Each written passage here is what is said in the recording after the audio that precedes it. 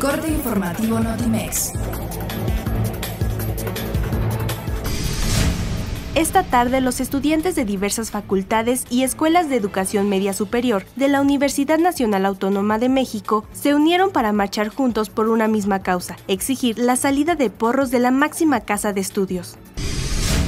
Docentes, trabajadores de prensa, empleados públicos y de salud realizaron diversas y masivas manifestaciones en medio de las diarias y crecientes protestas sociales provocadas por la crisis económica de Argentina. El próximo secretario de Seguridad Pública, Alfonso Durazo, señaló que por el momento que atraviesa el país es necesaria la participación de las Fuerzas Armadas en apoyo a las tareas de seguridad pública de manera coordinada con la autoridad civil. La NASA informó que el lanzamiento del satélite ISA-2, el cual medirá la altura cambiante del hielo del mundo, será el 15 de este mes.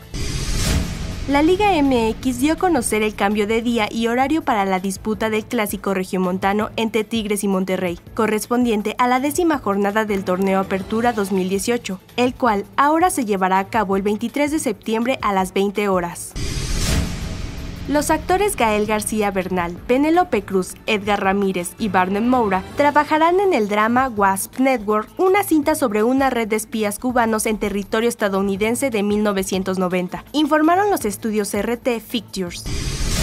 El 90% de las obras gráficas del pintor mexicano Rufino Tamayo se encuentran en la exposición Rufino Tamayo en el Tamarin Lithography Workshop, en el recinto que lleva el nombre del artista oaxaqueño.